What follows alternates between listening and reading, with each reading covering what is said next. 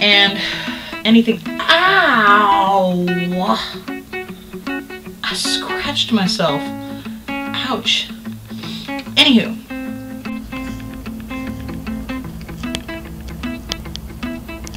Hello, this is Connie, and you're currently balancing on top of my computer screen.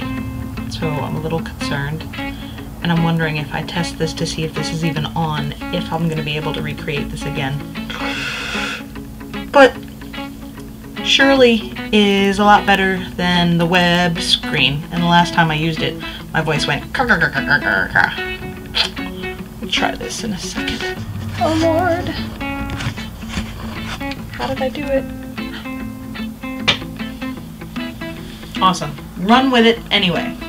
Hi guys, this is Connie, and it's Friday. Thank you, Jesus. This week has had all sorts of interesting things happen. Um, you know, sometimes it felt like the world was fixing to lose its mind. Multiple situations going on throughout the world. Uh, wars, chaos, people just fixing to lose their minds. And continued with work, people getting sick. I haven't gotten there yet, so I'm just gonna keep sleeping and drinking lots of fluids and hoping that I don't get sick. Yay! Fantastic week though!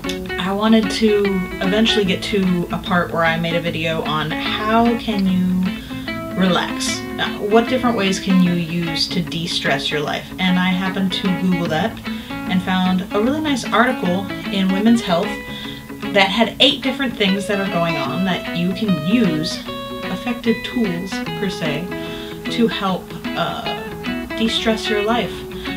And there's a couple of them on the screen right now. One says get a massage. That's always nice sometimes if you like being touched.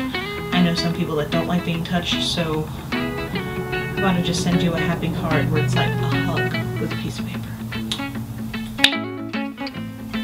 Maybe. One says have a hot bath. If I'm not already hot enough. Oi! Exercise daily. It says that you can uh, boost your endorphins by doing only 20 minutes a day. My doctor always says do a half an hour. All I know is that in 10 minutes I'm covered in sweat and usually don't feel those happy endorphins so much later, like after the, either the hot bath or the shower. So that's a thing. Another one says to meditate. Another one says listen to music. Another one, what did it, I want to know exactly what it said specifically here. Hold on, shake, shake, shake, shake, shake. Screw, screw, screw, Eat mood boosting foods, which I wanted to brag on my students. Oh my gosh, totally did not expect this. I'm not usually a an avid uh, champion for Valentine's Day because I remember what it was like to be single for a very long time, whether it was being rejected for Valentine's Day or just not really caring about Valentine's Day. So I don't make a big deal about it. Um, but yeah, everybody's like, look, you should celebrate the next day because chocolate's, you know, on sale. That might have been the case. But I got this from my bus students, and actually, you know the thing that really excited me more than just the chocolate rose was the holographic, I don't know if you could see it, but the holographic little valentines that they added with it. I thought that was just the sweetest little thing and it made me smile and I appreciated it. And I got it from my bus students. So this was not Mustachio. Mustachio treats me like it's Valentine's Day every day just by being Mustachio because he's awesome. Let's try this again. So, in conclusion, I hope you have a fantastic Friday. I hope you have a great weekend.